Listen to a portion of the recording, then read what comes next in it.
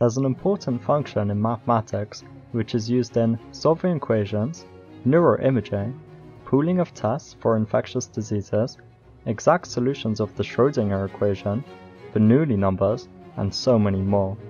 It's called the Lambert W function. But what is the Lambert W function? Given f of x equals x times e to the x, the inverse function is the Lambert W function. So if we have an equation like x e to the x equals 1, we can solve for x using the Lambert W function. We get that x equals the Lambert W of 1, which is approximately 0.567. However, there are infinitely many solutions to that equation. Each of these solutions are different branches of the Lambert W function and is denoted in the subscript. If a branch isn't specified, it's assumed to be the principal branch, branch 0. But how do we compute such a function? Newton's method is a root finding algorithm such that x sub n plus 1 equals x sub n minus f of x sub n over f prime of x sub n.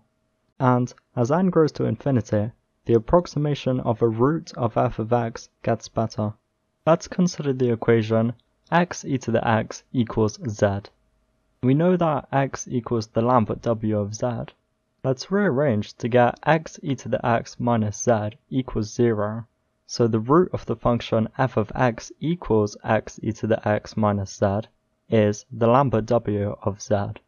For Newton's method, we need the derivative of the function, which we can use the product rule and factorize.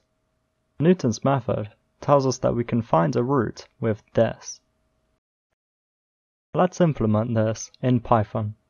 First, let's import the decimal module to handle decimals to any desired precision. Let's use a precision of 30. Then, define the Lambert W function, which takes in a value for z and the amount of iterations. Let's cast z to the decimal type so it can work with other decimal types, and the starting value for x to be 0. If you wanted to be more efficient, you could start on a closer value to the root and it will converge quicker. For each iteration, we will need to compute e to the x multiple times, so we can compute it once and store it in a variable instead. Then, we do the main computation, and finally, return x. Newton's method has quadratic convergence, which means after each iteration, the accuracy should double. So, we can estimate the amount of iterations it would take logarithmically.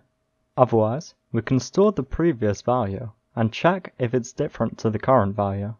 Once they are the same, the value would not have changed and fully converged with the precision we've set.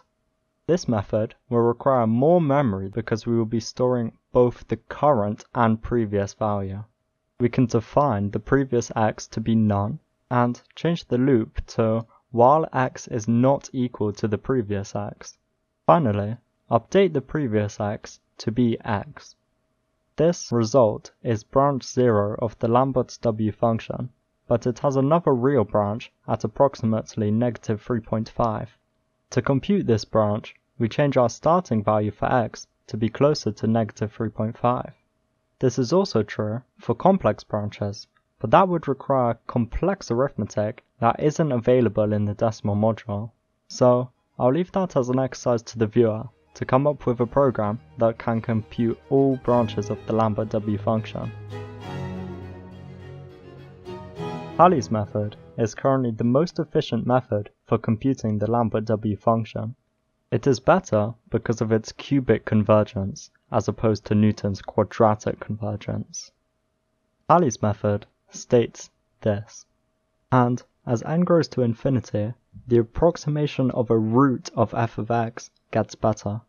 For Halley's method, we need the second derivative, which, again, we can use the product rule and factorize.